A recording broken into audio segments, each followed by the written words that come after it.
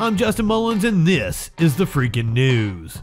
Congress is scheduled to release former President Donald Trump's tax returns to the general public today, ending a years long battle.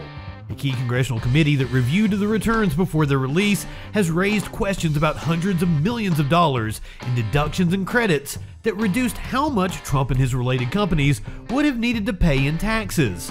They also questioned interest income from loans made to his children and other unusual accounting calculations. With your freaking news report, I am Justin Mullins. Have a great freaking day.